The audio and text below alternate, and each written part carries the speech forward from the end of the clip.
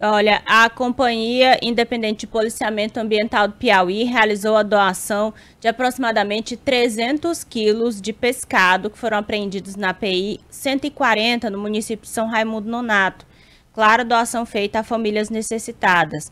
A apreensão ocorreu na noite da última sexta-feira, onde um veículo que estava transportando peixes piracema sem a documentação obrigatória e esses peixes foram feitos foram pescados durante a piracema e sem a documentação é, obrigatória.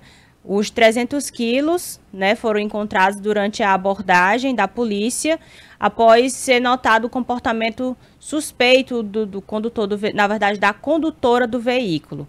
Ao ser questionada sobre a origem do produto, ela alegou ter adquirido na cidade de Remanso, na Bahia, e que tinha como destino a cidade de Eliseu Martins, no Piauí, onde, segundo ela, seria comercializado.